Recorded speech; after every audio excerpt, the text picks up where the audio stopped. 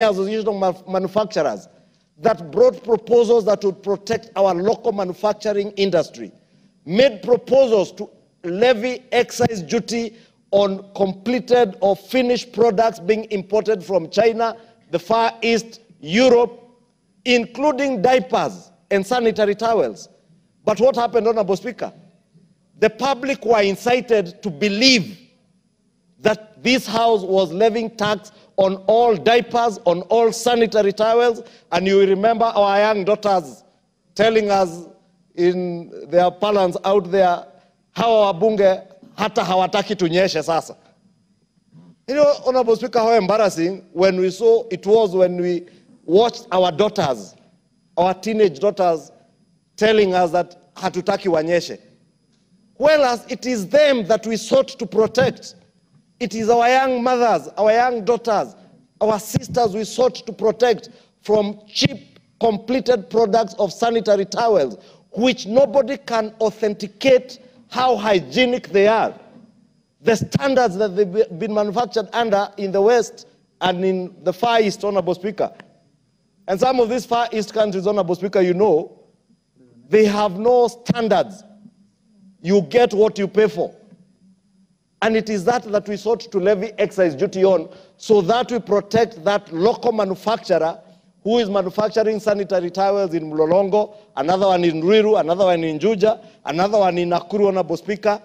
It is the farmer in Western Kenya and Luo Nyanza and parts of Nyanza, Honorable Speaker, that we sought to protect, who has now been given cotton seed, BT cotton seed, to produce cotton for the value addition of uh, these manufacturing industries, Honorable Speaker. It is the Kenyan youth who are on the streets we sought to protect, to create jobs for them in those factories here, Honorable Speaker. But what did we do? We were told, reject. We rejected, we lost jobs. We rejected, we exported jobs to the Far East. No wonder, Honorable Speaker, today, when CS Mutua announces 3,000 jobs, in Qatar, 30,000 Kenyans turn up at KICC. I want to plead to the, with the Kenyan people, and more so our fourth state, Honorable Speaker.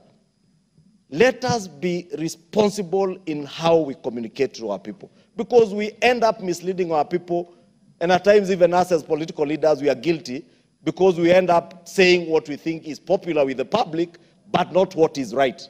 And I've said here, Honorable Speaker, before, what is right is not necessarily what is popular, Honorable Speaker.